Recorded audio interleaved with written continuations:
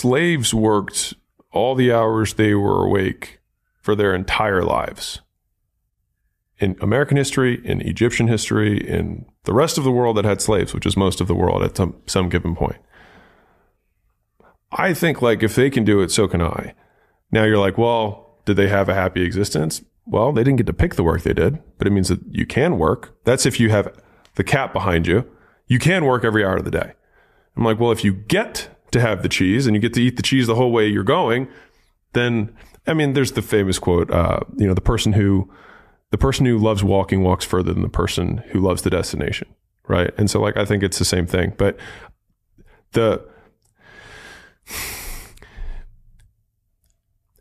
everyone so many people want to project their idea of of what they think your life should be like onto you. And it's just completely irrelevant. It just doesn't matter. Like if all I did if I if I weren't married, right? Because people are like, okay, well he is married and like I am in shape, but I also just like working out. But if I didn't have either of those things and all I did was work all day, more people would talk about the work life balance thing for me than they currently do. And who cares?